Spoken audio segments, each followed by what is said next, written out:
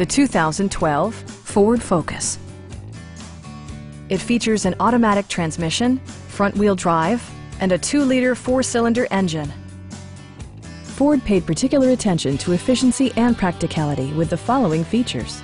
Adjustable headrests in all seating positions, a leather steering wheel, front dual zone air conditioning, fully automatic headlights, turn signal indicator mirrors, and power windows. Ford also prioritized safety and security by including dual front impact airbags, head curtain airbags, traction control, brake assist, ignition disabling, and four-wheel disc brakes with ABS.